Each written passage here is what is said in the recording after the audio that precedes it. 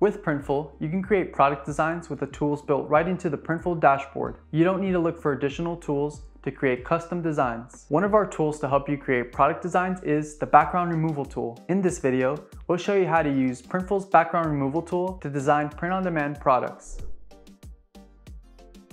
The background removal tool lets you remove image backgrounds in a single click. This enables you to create new and exciting designs without having to buy or use advanced graphic design software, removing image backgrounds. To start, click on Product Templates in your dashboard menu. Click Create More. Then Men's Clothing, then click T-shirt, and select the model. The background removal tool is available for printing only and not embroidery, so select DTG. And then select the color options you want to offer. Next, you can choose to upload your own image or pick one from the Premium Images library.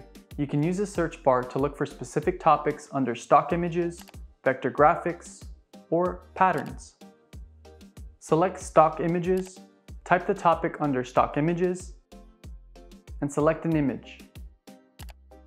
Click remove background, and presto, the background has been removed. Let's rescale